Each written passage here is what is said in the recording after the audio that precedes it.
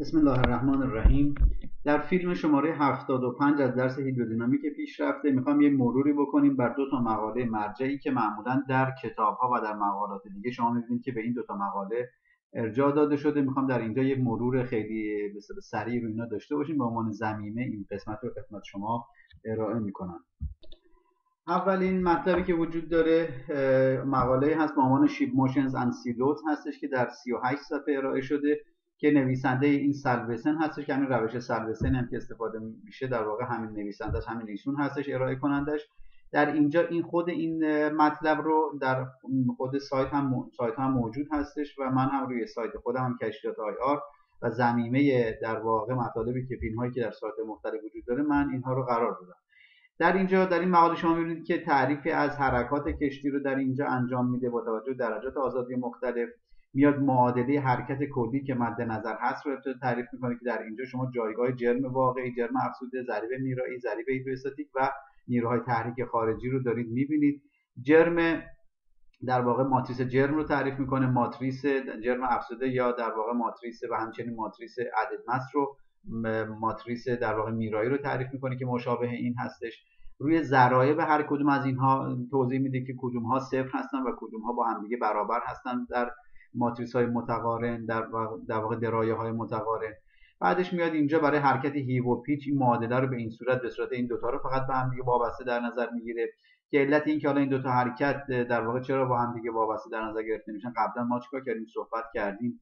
پارامترهای مختلفی که اینجا تعریف شده وجود داره تک تک خودش اومده تعریف کرده. و نحوه محاسبه ضرایب هیدرودینامیک رو اومده فرمول کدیش شما می‌بینید که در اینجا به این صورت چیکار کرده؟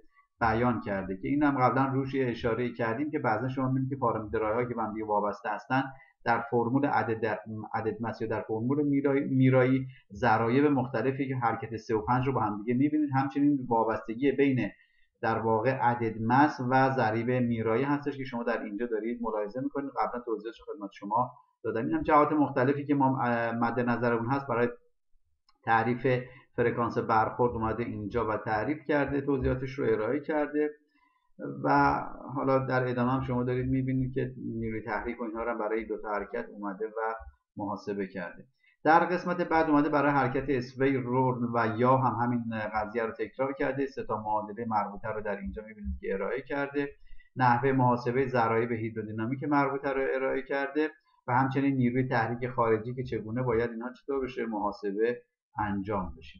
همینطور تا انتها که در واقع بارهای خارجی ناشی از موج رو هم اومده تعریف کرده. شما در اینجا باز دوره دارید می‌بینید که حالا پایینتر که بیاید حالا این مقدمات رو چیده بعدش میاد می‌رسه به اینکه عرض به خدمت شما که تابع پتانسیل رو به چه صورت باید تعریف کرد.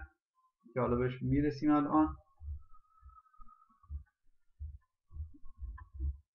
که در قسمت زمینه شما در اینجا دارید می‌بینید که برای ضرایب هیدرودینامیک دو بعدی در واقع نیروها و مانهای تحریک دو بعدی و همچنین ضرایب هیدرودینامیکی میاد یه در واقع روابط مربوطه رو در اینجا آماده ارائه کرده که باز شما در اینجا دارید می‌بینید که اینجا تاکید کرده که برای محاسبه نیروها و مانها نیاز هست که ما از قانون برنولی استفاده بکنیم عامل اصلی و محوری در قانون برنولی هم همین عامل رنده فی به تی هستش و همین یک دوم وی به توان دو که وی همین نابلای فی خواهد بود که خود مقدار فی هم به این صورت فی total بیان میشه که در واقع فی incident فی در واقع diffraction و فی انتشاری radiation سه تا جزئی تشکیل دهنده در واقع تابع پتانسیل کل خواهند بود که ما اگر اینها رو بتونیم به دست بیاریم در واقع اون نیروها و ممانها رو تونستیم محاسبه رو انجام بدیم. یعنی هم ضرایب هیدرودینامیک و هم نیروهای تحریک رو تونستیم محاسبهش رو انجام بدیم که در ادامه باز دوباره توضیحاتش رو ارائه کرده.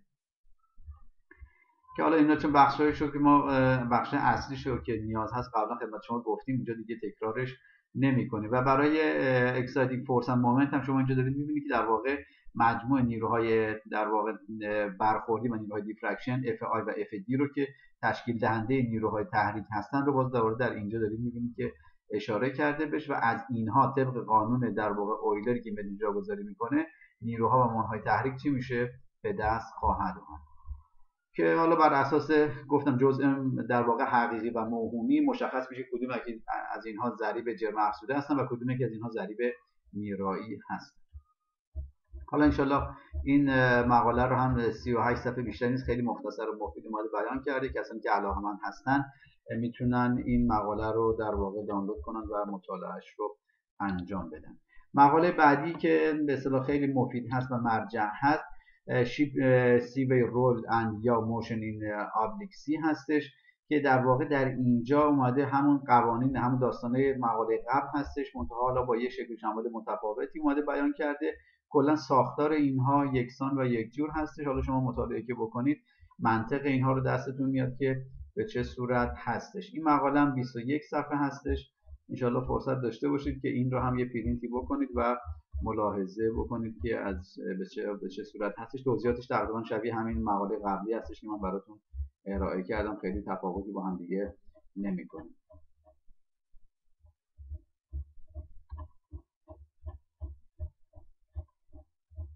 امیدوارم که مطالب مفید واقع شده باشه. موفق و پیروز باشید. خدا نگهدار.